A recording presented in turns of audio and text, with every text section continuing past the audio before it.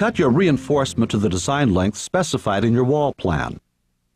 Lay sections of reinforcement within one inch of the face of the wall with a strength direction perpendicular to the wall face. To avoid overlapping reinforcement, separate each section. Place the next course of blocks and mark the backs of the blocks to identify unreinforced areas. This is an important step because when this course is backfilled, it's impossible to locate the unreinforced areas. Now, using the marked blocks as a guide, place sections of reinforcement to overlap the gaps left on the previous course. These steps will help ensure total reinforcement coverage. Repeat this procedure throughout the construction of the radius curve when reinforcement is required.